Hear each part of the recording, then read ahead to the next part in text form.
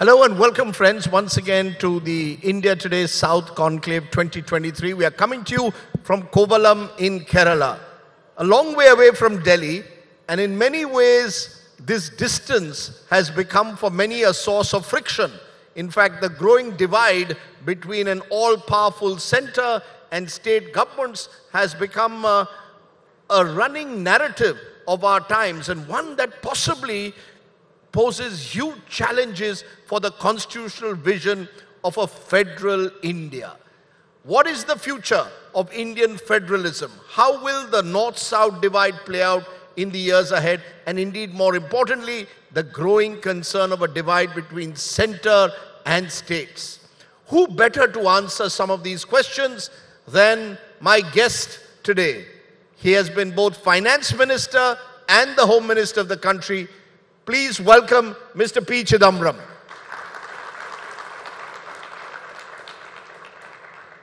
Mr. Chidambaram, am I exaggerating cons this concern that many opposition parties in particular have over the future of cooperative federalism? Or do you believe that this is going to become a major friction point in the years ahead? In my view, you are understating the problem. Understating it? Yes, you're not exaggerating. Every state is now bristling with a kind of encroachment which the center is making into its executive powers and legislative powers.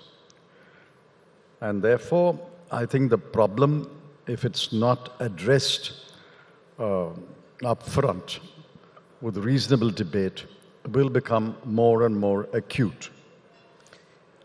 Give me an example of where, when you say that there is a sense of center encroaching into state powers. Give me an example that you believe is a sign, uh, an ominous portent for the future. I'll give you two examples. One is education. now, a state government uses state government funds, sets up government medical colleges, and naturally it is meant for most people who are belong to that state, domicile of that state, but nobody denies um, the right of anyone who migrates to a state like Tamil Nadu or Kerala to claim domicile after five years or ten years. Now, today the state governments have no power to decide who will be admitted to those colleges. State government, state government funds, tax paid by the people of that state, they set up government colleges, largely to admit students who are domiciled in that state. Why should the center decide who will be admitted and who will not be admitted? Mm -hmm. Another example, cooperative sector. Now, for the last 73 years, the cooperative sector has been entirely under the state government. Mm-hmm. And there have been very, very successful cooperative movements in this country, cooperative societies, cooperative banks, cooperative milk societies. Now, why should the center now create a ministry of cooperation and put the most powerful minister, apart from the prime minister, in charge? And all the banks, all the cooperative banks, all the multi state cooperative societies are all reporting to the center now. Now, these are clearly encroachment into the executive and legislative powers of the state government. Now, is this center versus states or is it an all-powerful BJP government versus opposition-ruled states? Because I don't sense, say, from example, from a Naveen Patnaik, who seemed to be close to the Modi government, or indeed BJP-ruled governments objecting to what you're claiming is misuse of center's executive powers. It's primarily the opposition ruled state. So is the real problem that the compact between an all-powerful center ruled by the BJP in the opposition ruled states has broken down? The correct way to describe the problem is center versus state. Except, of course, the BJP chief ministers are mute witnesses. If they protested, they may not be chief ministers tomorrow. You know, Mr. Chidambaram, it's almost as if you're suggesting that these problems emerged only in 2014. I didn't you know, say that. you, you I are a that. Congress person. The Congress for 90 times, Indira Gandhi, Mr. Modi said this on the floor of the House, said Mrs. Indira Gandhi used Article 356 90 times and used the Article 50 times to dismiss governments in the 1970s and 80s. We are, we are mixing up issues. You asked me about the all powerful center encroaching into states' rights. And I gave you examples of executive encroachment, um, legislative encroachment. Now you are switching to a completely different subject. Article 356, imposition of president's rule. Until S.R. Bommai's case, the law was understood differently not only Indira Gandhi, Charan Singh, Morarji Desai understood the law differently. Therefore, after S.R. Bommai's judgment, where has the center, whenever it's ruled by the Congress, exceed its powers? Therefore, I think the watershed is S.R. Bommai's case. Yeah, The there was law one case in Bihar, for example, when uh, Abdul Kalam, while he was in Moscow, was virtually forced to dismiss a Bihar government. You're saying that's an exception? That's not the real issue at the moment. You believe governments will not be dismissed? I think dismissing a government, unless there is a very, very well documented case of constitutional breakdown, is wrong. Article 356 did not um, al- allow for such dismissal. But then again, this is part of legal history of India. Um, we can only look back and say the wrong things were done by all governments of the center, and the law was set straight in S.R. Bommai's Okay, case. so you, you admit in a way that there was this overreach in the 1970s when Mrs. Gandhi was in power. You're admitting that. We'll now come from there to the present. You're, you're making it as though I'm in the witness box and you're a prosecutor and you want me to make a confession. I'm stating a view, a legal view. Okay, I, I the law just... was differently understood. The Okay. law was uh, later better understood. Okay, I was stating facts. Let's come to certain facts of today. One concern, for example, particularly in the southern states where we are and increasingly across the country, and we saw a Supreme Court verdict on it in Maharashtra a couple of weeks ago, is the role of the governor. In your home state of Tamil Nadu, there is a growing friction between the DMK-led government there and the governor. Governor is allegedly sitting on uh, on legislation, even wants the name of the state to be changed. In Maharashtra, uh, government was allegedly toppled with the help of the governor. How do you see that? Is that all part of what you're seeing, a breakdown in trust and the misuse of constitutional functionaries? You are making it a legal issue. It's far more sinister. The BJP's agenda is one India, centralism. Centralism of the kind we find in Turkey, we find in China, we find in Russia. They believe in centralism. And uh, centralism has a history in uh, world political history. The BJP does not believe in states being near equal partners with the center. Therefore, what is happening over the last four or five years is, I think, far more sinister than saying uh, misusing this power or misusing that power. They are moving towards a one India concept, which, with a dominant principle, will be centralism.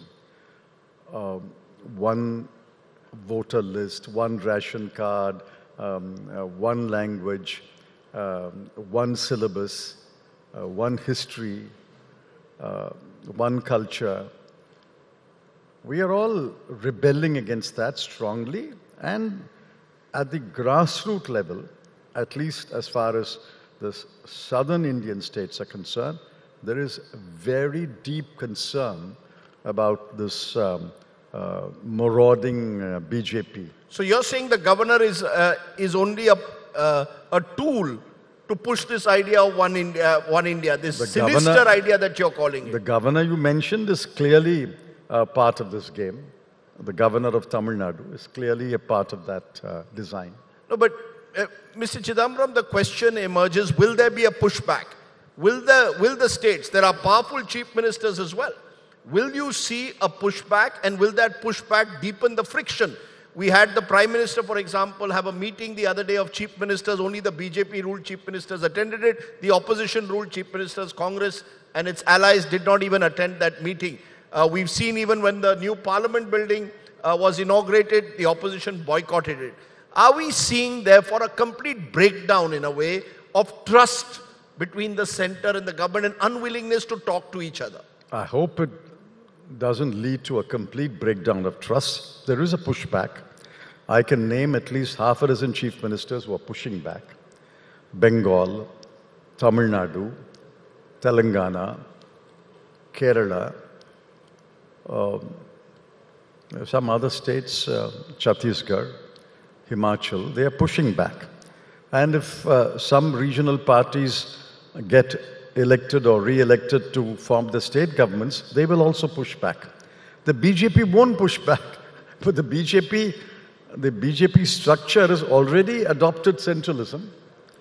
You see, it's very interesting you're saying there will be a pushback. One of the chief ministers you didn't mention just now is the Delhi chief minister, Arvind Kejriwal, who claims that this latest ordinance uh, of the center taking over services against a Supreme Court judgment it design, is designed for complete control of the center over Delhi. He's going across the country seeking support.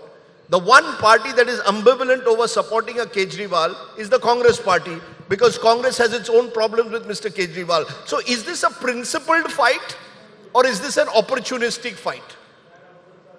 The issue that you mentioned has two dimensions. One is legal and one is political. The legal view, I have already expressed myself. The legal view is that this ordinance, which eventually will become law, may not become law, I don't know, is clearly contrary to Article 239 AA. Mm-hmm. So I think this ordinance is bad, it will be struck down. 2018, there was a five judge bench delivering a judgment. 2023 was another five judge bench delivering a judgment, reiterating the principle and there will be another five judges bench which will pronounce on that. The political conclusion, the political um, uh, lesson that has to be drawn and the political step that has to be taken is uh, beyond my competence. I can't say that. It can only be said by the Congress president after consulting all the uh, stakeholders. No, no, what is your view? Mr. Chidambaram, you can't escape that by saying the Congress president will because I, I, you see, that, then I say it's not a matter of principle. No, if you a... say an ordinance has been brought in illegally, wrongly, why doesn't the Congress stand up and say it's illegal and wrong? Listen, you are accusing me of not expressing my view. I will express my view in an inner party forum. I cannot express my view in an India Today forum. How can I express my view? I still am a member of the party. Okay, we thought this was as important a forum as the Congress Party forum for a moment. I wish uh, you good luck. uh, but, but Mr. Chidambaram, let me give you another example from the center's perspective. Uh, and this is in the context of Tamil Nadu, your home state. The NEET exam. Uh, Tamil Nadu says, we don't want one common, you say one India. The BJP says there will be one common entrance exam, medical exam for the country. Tamil Nadu says we are moving in legislation, we will be out of the NEET system. So states also are rebelling in a way, virtually saying even for the manner in which a national exam is to be held, we will take the call, not the center. What is this national exam you're talking about?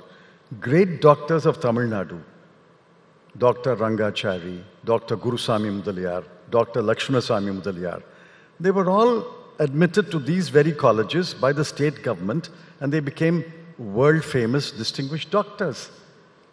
Why can't you trust a state government to admit competent, qualified students to state government colleges? In a central university, let the centers writ run.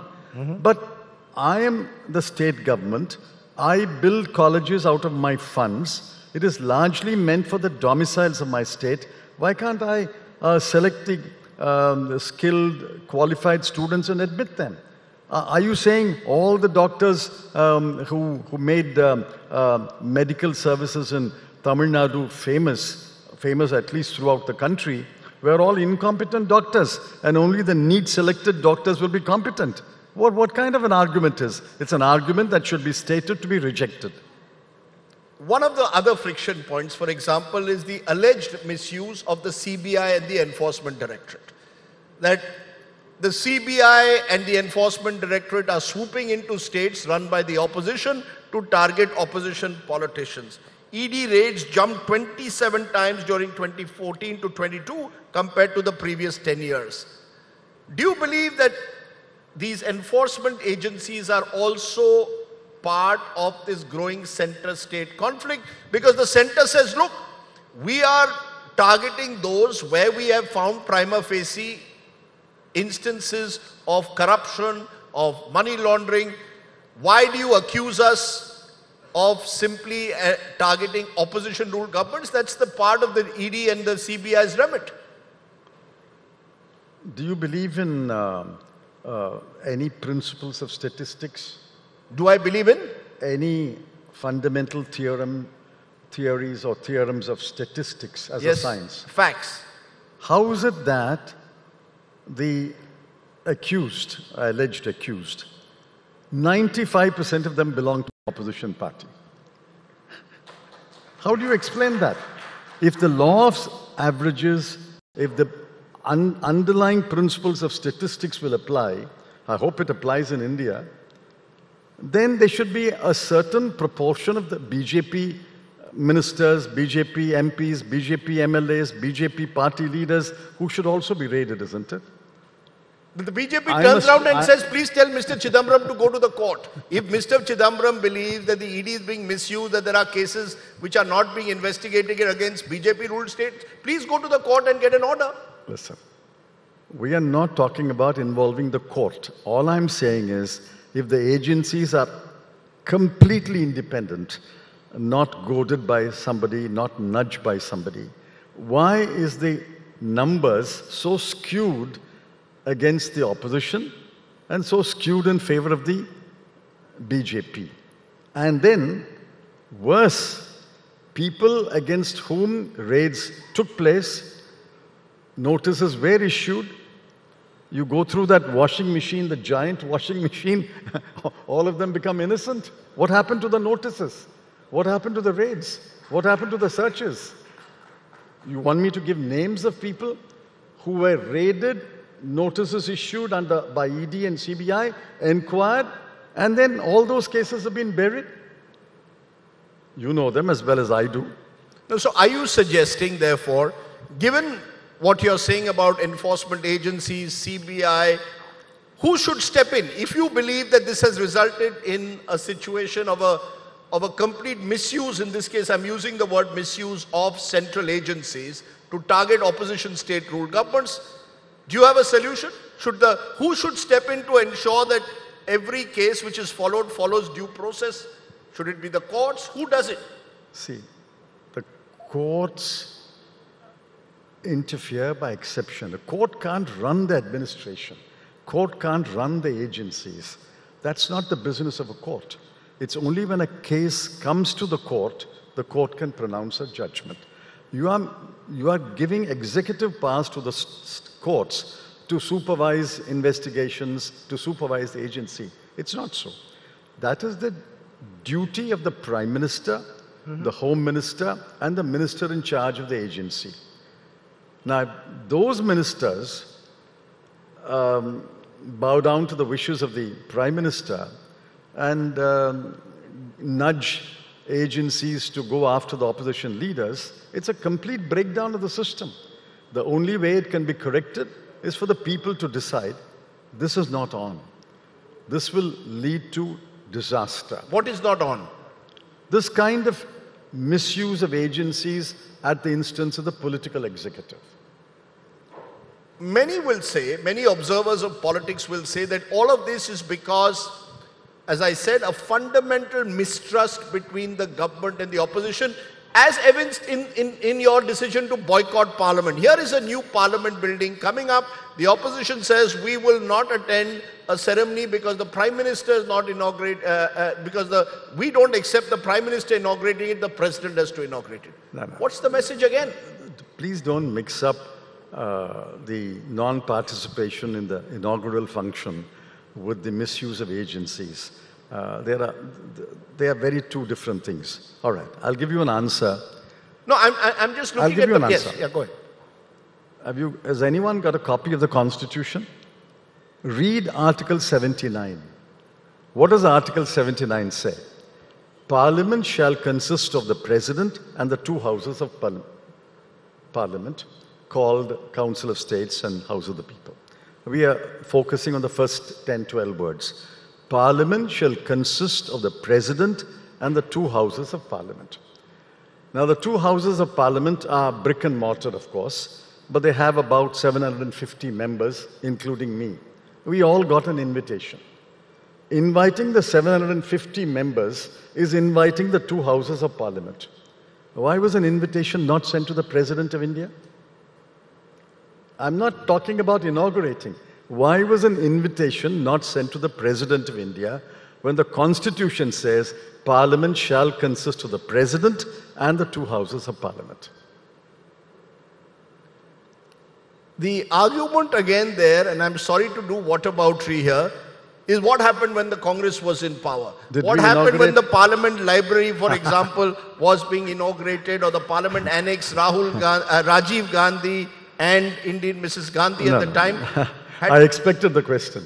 Good, I'm I- glad. I, am ready with an answer. Oh, I'm glad. Unfortunately, there's no Article 79, capital A, which says Parliament shall consist of the Parliament Library, Parliament shall consist of the Parliament Annex.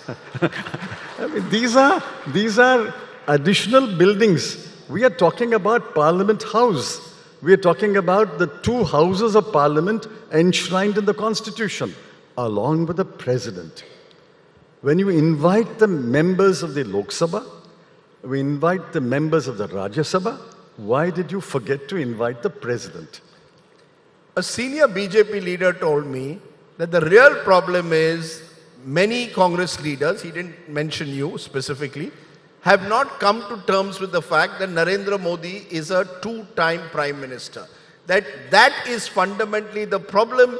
He isn't seen by your leadership as someone, therefore, who deserves to be in that post, and in some way, therefore, there is this boycott almost of Prime Minister Modi. Completely wrong. Wherever I've written referring to the Prime Minister, I refer to him as Honorable Prime Minister. Wherever Mrs. Gandhi is met with the, uh, in a Parliament's Central Hall function or any function, she has been extremely deferential and uh, greets him. Uh, Congress President um, has been in conversation with him. We have seen videos. We accept the fact that the, Mr. Narendra Modi is the elected Prime Minister of India. Nobody questions his legitimacy. What we are questioning is his actions, his decisions, like the recent uh, decision of introducing a 2000 rupee note and withdrawing a 2000 rupee note. On the day it was introduced, I said, This is a foolish decision. The withdrawal is a good decision, but a good decision that corrected a foolish decision. Oh, you know, Mr. Chidambaram, the reason again this, uh, this is asked for, if you were in Mr. Modi's uh, position, if you were advising him, what would you tell him? How would you repair this divide? It is a gaping divide. It's a friction point which you say is only going to get worse. What, therefore, would you advise him? Well, the first uh, caution I'll tell myself is your advice will not be accepted. One. And nevertheless, nevertheless, if you want me to advise, I'll say, listen. Governments are elected, governments are also unelected. Everybody who's occupied that chair will have to vacate that chair. Maybe five years, 10 years, 12 years, whatever, whatever. Uh, I wish him well. So you must always remember that these are temporary seats of power, which is why I believe in limiting the term of chief executives, like the US president. Is there anything, any job in this world more complex, more difficult uh, than the president of the United States? Why did they impose a two term limit?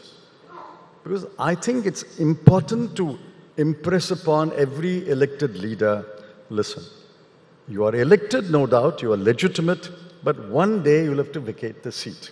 So I would tell him, uh, uh, Honorable Prime Minister, let's proceed on the basis that one day this seat will be vacated by you and somebody else will occupy the seat. And keep that in mind before you take a decision. So you're saying 10 years, maximum No, term, I'm two not- term prime minister. I'm not imposing a term. but you're I'm, suggesting a term. all I'm saying is limiting the terms is good for the state and the center. Let me come, sir, to another dimension of this problem, which is perhaps going to become more and more important in the years ahead, and particularly because we are here in deep south or up south, as we are calling it, will become more critical, which is delimitation. In 2026, there is a belief that the number of parliamentary seats from the most populous north states will increase, and the south could either suffer a loss of seats or their numbers will certainly not increase in the same proportion. How worried are you about what delimitation could do to already the fraught relationship between center and the southern states in particular? See, my party has not yet taken a view. Therefore, you have to take my words with a large dose of caution. This is not necessarily my party view. I'm concerned because either the states which have reached a replacement rate of population growth or even less. For example, many southern states have reached 1.6. The replacement rate is 2.1. They will suffer either by a loss of seats or by their seats being frozen. Whichever way, relatively, as a relation to each other, relatively, the northern states, the uh, states where the population is growing at more than 2.1%, will gain. This, I think, um, could become a cause for friction. Um, how it will be resolved, I have not thought through it. I'm thinking about it. I have not thought through it because I think uh, the unalterable principle, which is um, uh, in the Constitution, is one man, one person, one vote. Now, therefore, one has to think through. And I think it's good if all the political parties sit down and calmly think it through. Um, I don't want a situation where uh, nobody thinks it through, and then 2026 uh, dawns on you, and then the um, uh, thing gathers its own momentum. That will lead to serious issues. I think all political parties should start thinking about it even now, what we, what, what we should do in 2026. What you're saying is whatever decision is taken must be by consensus, not unilateral. Absolutely, absolutely. This is far too sensitive an issue uh, for a government with a majority in the Lok Sabha to take a decision. Mr. Chidambaram, uh, in conclusion, uh, your leader Rahul Gandhi uh, is in the United States, and as always, every time he goes abroad, he creates headlines for some reason or the other. Today's headline is he was in uh, Washington, where he has said the Muslim League, when asked a question, and presumably a refer- it is a reference to the Indian Union Muslim League, which is in your state and in Kerala, uh, is a secular organization. Do you concur with his views that the Indian uh, IUML is a secular group? I know the structure of the Muslim League in Kerala and Tamil Nadu. Many of them are known to me. Tamil Nadu leaders are known to me. I believe they are secular. You I believe don't- it's a, I believe they are secular. I don't know about the Muslim What's your League. definition of secular? Secular is that you don't indulge in hate against any other community. You don't um, um, uh, inject a dose of religiosity into every statement, action, and you don't create a communal divide between the Muslim communities and the non-Muslim communities. But now you are referring to the Muslim League in Tamil Nadu, not necessarily in. Those are the only two units I know. In many states, the IUML is not a very uh, uh, very significant organization. Would you see Mr. Owaisi's organization differently? Owaisi is not the Indian Union Muslim League. I know, AIMIM, but you see him as I not don't, secular? I don't agree with uh, Mr. Owaisi's thinking or speeches. Okay. I, in conclusion, as, as we end, uh, the southern Indian states also feel that they account for 30% of the country's GDP as per RBI figures, around 30%. The five states, they could, some of them could become trillion dollar economies on their own. Do you see that also becoming a point of friction going ahead? You've been the finance minister of the country. Many of these states feel they are contributing uh, disproportionately to the national exchequer and getting disproportionately less. See, I believe in a united India. I believe that uh, the more prosperous states must take some part of the burden of the backward states. That's my belief. But there is a serious concern in the southern states that when it comes to the finance commission, their share of the revenues is dwindling from one commission to another. When I was finance minister also, the share dwindled. Yes. Share dwindled and everybody protested. Therefore, we have to rethink the finance commission's mandate. That is one. Secondly, there is a feeling that in the grants and aid, uh, which are not necessarily finance commission uh, uh, directed, where the central government has a large uh, area of discretion. The grants and aid also, and in the borrowings, right to borrow. For example, Kerala Chief Minister is protesting that his right to borrow is being severely restricted. I think there are serious issues. I know the language of the Constitution provisions, but they were written at a different time. They were different, uh, they, they were written by in a different um, uh, scenario. So we'll have to review those provisions of the Constitution so that the more advanced states don't feel that they are being shortchanged um, uh, compared to the less advanced states. I won't call them backward, they are less advanced states. I think it's absolutely necessary to look at the center state fiscal relations chapter of the Constitution and take a second look at it. So, what you're saying basically, whether it's center state fiscal relations, whether it's delimitations, try and build consensus, try and work together, have all party, more all party meetings, hopefully attended by both sides. I'll give you an example. Yes. We built a consensus on a GST. In fact, if our government had been in office, the GST law would be a very different law, more uh, in more in line with the, the paper put out by um, uh, Arvind Subramanian. But the animal that's come out today, the GST, has no resemblance to the consensus we built. Remember, Yashwant Sinha constituted the, uh, the group of ministers, and I took over, and we worked with them for seven years, building a consensus on GST. We successfully built a consensus on VAT, and all the states fell in line. Nobody has any grievance about VAT. Next step was VAT to GST. We were building a consensus. The consensus was ready when Arun Jaitley took over as finance minister. And what has this government done? It has completely distorted the consensus of GST. GST today, many finance ministers have told me, non BJP finance minister, and even one BJP finance minister has told me, and this is not the consensus that we arrived at when we agreed to sharing sovereignty as far as taxation is concerned. This is completely now dominated, dictated by the center. Even though decisions in the GST Council are to be taken by consensus, Mr. That is on paper. You're saying it's on paper. That is on paper. Okay, so we need to imbibe, embrace the spirit of consensus. And in that spirit of consensus, I hope your idea of a united India and Mr. Modi's idea of one India can merge. United India is very different from one India. don't, don't conflate the two. United India has a very different connotation. One India has a very different connotation. In fact, I would say United India is a noble idea.